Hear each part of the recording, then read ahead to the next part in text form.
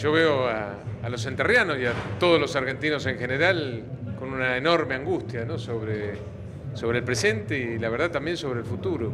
Mucho, mucho miedo, mucha tristeza. Estamos atravesando seguramente una de las peores crisis que se recuerden, con una inflación que no para, con un dólar que parece no tener techo y que todos sabemos que después se traslada a precios.